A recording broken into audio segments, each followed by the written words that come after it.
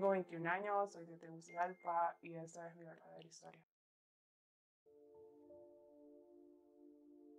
Mi abuelo es militar, por lo tanto mm, cuidaba mucho y visitaba a mi mamá. Ella se fue a vivir con mi papá a una zona muy peligrosa en Tegucigalpa. Eso influyó a que los mareros y maras cercanas donde ella vivía quisieran como ponerla en vista, pues tenerla ahí como ceja en ceja y creían de que mi mamá daba como eh, información y por eso pues decidieron como quitarle la vida. Cuando esto pasó yo tenía como un año. Yo vivía con mi hermano y mi papá junto con ella, pero ella salió y como que me dejaron con una vecina. Entonces, por eso es que como que yo estoy viva, pues porque yo no estaba en la casa, mi papá estaba trabajando, mi mamá nunca regresó a la casa, la encontraron como años después y dieron con las personas que, que la habían matado. Mi papá se quedó con mi hermana y conmigo, claro, porque mi mamá se había muerto. Y después eh, mi abuelo, a causa de esto, quiso como encargarse de mí. Bueno, mi papá se quedó con mi hermano y yo me quedé con mi abuelo. Al tiempo, cuando yo tenía cinco años, eh, mi hermano muere por un tumor en el cerebro. Eh, me quedé yo con mi abuelo y pues mi papá volvió a ser una familia nueva. Entonces, claro, yo estaba como en las celebraciones de la escuela, colegio y así, donde celebraba el Día de la Madre, más el Día del Padre. Y era como que súper difícil porque, porque no estaban ellos ahí. Ya cuando yo estaba un poquito más grande, había algunas personas cercanas, muy cercanas a la familia, que me estaban cuidando.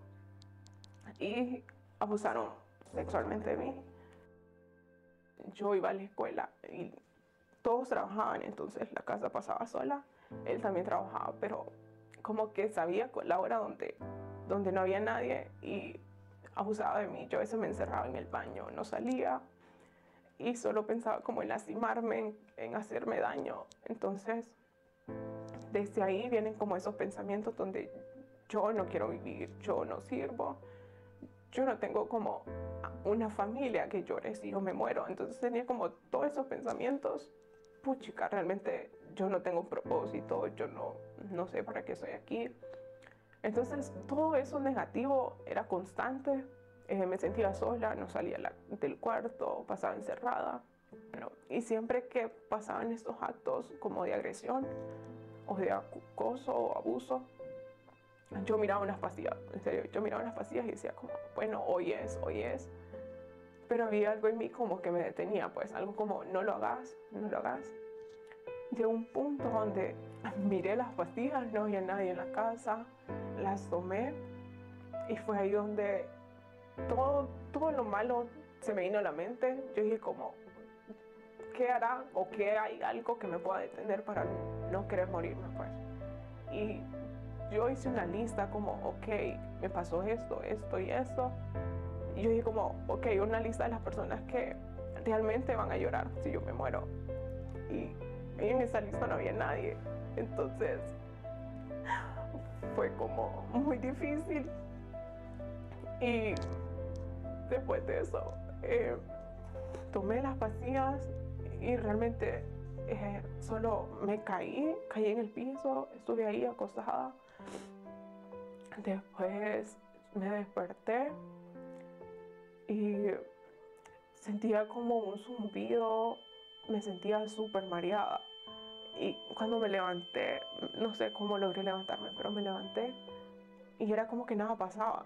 Todo en la casa estaba normal, todos caminaban, todos con su celular, todos estaban hablando, viendo televisión.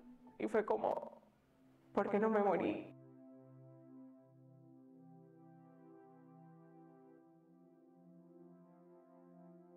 Creo que parte de la cultura del hondureño es evitar hablar de emociones, de temas pesados, porque, porque es incómodo y hay muchos tabús alrededor del tema del suicidio. Entonces creo que lo que principalmente no se habla es del suicidio y de la salud mental en sí.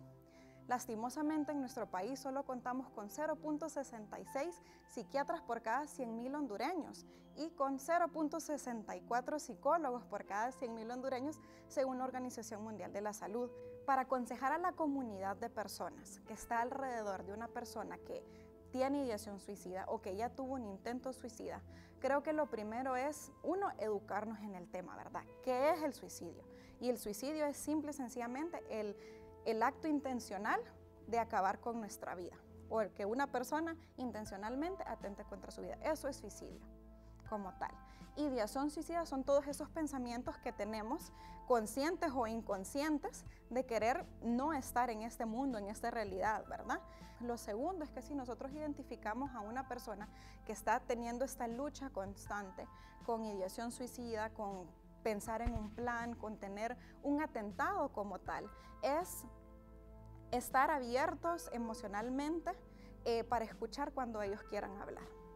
Otra cosa, si ustedes ya escucharon a las personas tal vez lamentarse y decir, decir esta vida no tiene sentido, eh, ¿para qué seguir? Honestamente estoy a punto de darme por vencido, ya no quiero estar acá, de todos modos nadie me va a extrañar.